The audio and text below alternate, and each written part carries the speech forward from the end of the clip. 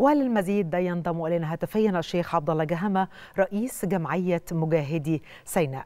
شيخ عبد الله في البداية بنتوجه طبعا بالتحية والتقدير لكل أهالي سيناء الحبيبة وبطولات عظيمة على أرض سيناء جسدها التعاون بين المصريين من أبناء القبائل في سيناء وقواتهم المسلحة لإعادة سيناء إلى حضن الوطن. كيف ترى هذه البطولات؟ هو لا شك طبعا بنهني سيادتك وبنهني كل السادة المشاهدين على إنه النهارده 25 أبريل بنحتفل العام 42 بأعياد تحرير سيناء. لا شك إن أبناء سيناء انخرطوا مع القوات المسلحه في مقاومة قوى الشر في المرحلة الأخيرة والذي كان استهداف منها استقطاع سيناء من خلال مسميات عدة ولاية سيناء مش عارف إيه سيناء لكن حقيقة القوات المسلحه وأبناء سيناء والشرطة قاموا بدور كبير جدا جدا جدا حتى طهروا سيناء من قوى الشر اللي اجتاحت سيناء زي ما ابائهم وأجدادهم انخرطوا مع قوات المسلحه بعد نكسة 567 مع قوات المسلحه وخلوا سيناء كتاب مفتوح حتى جاء نصر أكتوبر 6 6 من أكتوبر العشر من رمضان. ابناء سيناء لن يتأخروا واذا جد الجد ونادي المنادي لن يتأخروا ابدا. ثم حقيقة حينما حينما انتهينا من قوى معركه قوى الشر تفرغنا حقيقة للتنمية.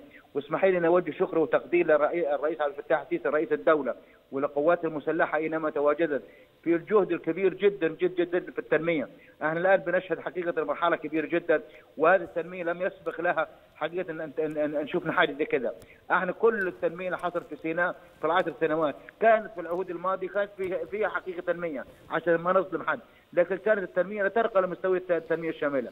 تقييمك شيخ عبد الله لما شهدته شبه جزيرة سيناء وتشهده حتى يومنا هذا من جهود ومشروعات كبيرة صحيح. لتحقيق التنمية الشاملة وأهمية وانعكاس ذلك طبعا على المواطن في سيناء. لا شك إن الدولة حينما انفقت في العشر سنوات الماضية ما يزيد على 650 مليار هذا الشيء فعلا أصبحت عندنا إحنا كأبناء سيناء والمقيمين في سيناء. إن في قناعة عندنا إن في إرادة سياسية لتنمية سيناء تنمية حقيقية، إحنا شفنا مشاريع العملاقة مدينة رفح الجديدة، المدن اللي اتعملت في سيناء، التجمعات السكنية للبدو، كل هذا جهد كبير جدا، ثم شفنا ميناء العريش اللي أصبح ميناء عالمي وحيربط ميناء العريش بميناء نويبع على البحر الأحمر، هذا حقيقة إنجاز يظهر الإعجاز، ثم هناك مستهدف استصلاح واستزراع ما يزيد على 350 ألف فدان في منطقة سيناء هذا جهد حقيقة يشكر عليه الرئيس عبد الفتاح السيسي لأنه يعلم أهمية تنمية سيناء حينما كان مدير المخابرات وحينما كان قائد عام للقوات المسلحة وحتى متولى مقاليد الحكم. وأبناء سيناء حقيقة هم نسيج شعب مصر العظيم. سيناء قذفت عليه زهرة شباب مصر. ما فيش محافظة اللي مصاب أو شهيد على أرض سيناء. فآن الأوان أيضا أن الدولة والحكومة تبسط إجراءات الجذب لمواطن الدلتا لسيناء حتى يضخ في سيناء ما يقلش من 4 5 مليون من لأن سيناء ملك لكل المصريين. سيناء حقيقة كل محافظة لها مصاب أو شهيد على أرض سيناء. رمال سيناء تعطرت بدم الشهداء من مصر وحقيقة يسعدني ويشرفني أن شكري وتقديري للرئيس عبد الفتاح السيسي اللي حافظ على كل حبة رمل في سيناء ويمكن حضورنا معاه في يوم الشهيد ب 9 مارس قال إحنا لو فرطنا محبة سيناء بنكون دم الشهداء.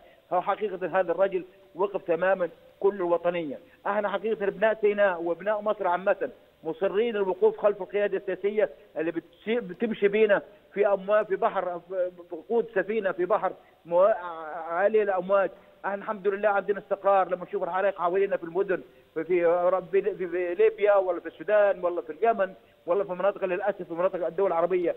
الحمد لله عندنا استقرار أمني. والشعب المصري حقيقة حينما تزاحم في الانتخابات ووقف الطوابير طول اليوم حتى ينتخب الرئيس عبد الفتاح ايمانا منه إنه حقيقة حيرسي بينا على بر الأمان. إحنا حقيقة في شمال سيناء جهد كبير من الدولة وهذه الدولة لم تتأخر على دعم سيناء.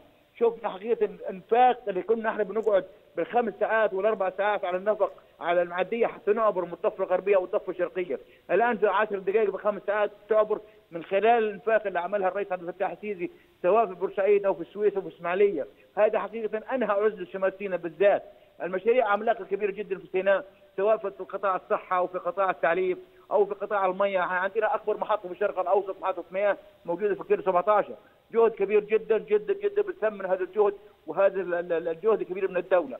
نحن حقيقة في في سيناء لا ندخر جهد بوقوفنا صفا خلف القوات نعم. المسلحة ومع القوات المسلحة وإذا جد الجد ونادى المنادي فابناء سيناء في المقدمة لتنفيذ التعليمات.